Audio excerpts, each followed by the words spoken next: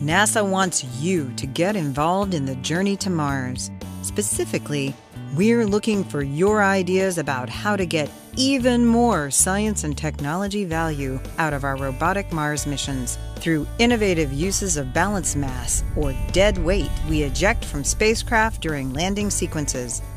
We're looking for creative, yet feasible ideas to create a dual purpose for the balance mass jettisoned from Mars landers, like the Mars Science Laboratory during entry and landing. This balance mass is jettisoned during two parts of the landing sequence. Two 75 kilogram cruise balance mass devices are ejected at the end of the cruise phase immediately prior to entry. Six 25 kilogram entry balance mass devices are ejected after atmospheric entry and prior to landing.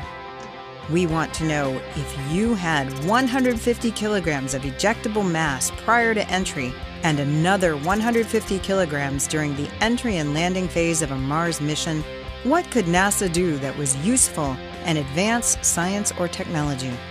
In other words, if you could hitch a ride to Mars, what would you do?